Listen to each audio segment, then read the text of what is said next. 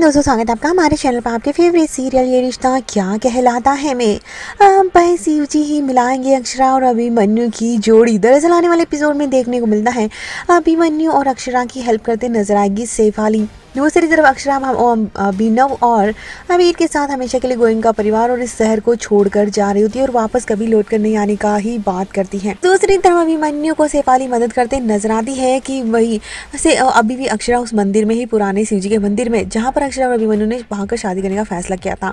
देखने को मिलने वाला है यहीं पर शिव जी की ही इन दोनों जोड़ी बनाते नज़र आएँगे। अब भाई कहानी में आएगा वो मोड जहाँ पर अक्षरा अभिमन्यु से साफ़ शादी अपने प्यार के लिए इनकार कर देती कि उसके दिल में उसके लिए कोई प्यार नहीं है।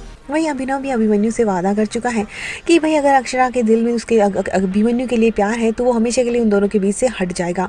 तो यहीं पर कहानी इंटरेस्टिंग मोड पर आती है। देखने को मिलने वाला है कहानी में, अब यहाँ पर अक्षरा अभिमन्यु से मना तो कर देती है। लेकिन देखने को मिलता है कि यहाँ पर अब भाई होली की वजह से कुछ लोग आते हैं और वहाँ पर मंदिर में शिव जी के सामने बहुत ज़्यादा कुमकुम और कलर रखा होता है, जिसमें अभिमन्यु के हाथों से कलर हवा में उड़कर अक्षरा की मांग में सिंदूर भर देता है। अब अक्षरा के, अब यहाँ पर अक्षरा जो कभी मांग में सिंदूर नहीं भरती, उसके सिंदूर में छः साल बाद में भर जाता है। सिंदूर देखने को मिलने वाला है, यहीं पर प्यार की वापस इन दोनों की मुलाकात होती है और अक्षरा से फिर अभिमन्यु पूछता है तो अब इसके बारे में आपका क्या कहना है मैडम?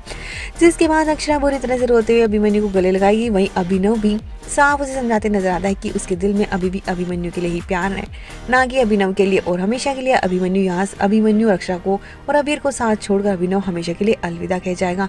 तो देखना दिलचस्प होगा। आगे की अपडेट लेकर जल्द हाजिर होंगे तो कल चैनल को सब्सक्राइब।